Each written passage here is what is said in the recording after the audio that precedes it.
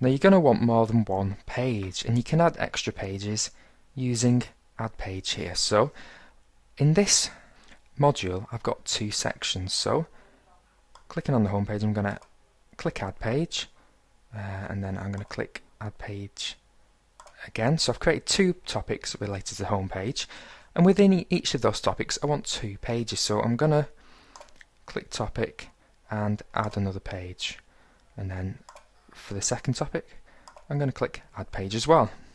So now I need to rename the topic. So the first one if I double click on the title I can change that to history of swimming which is the first topic. And I can click on the plus button and click on the title that says section and call that resources and then the second topic is called famous swimmers.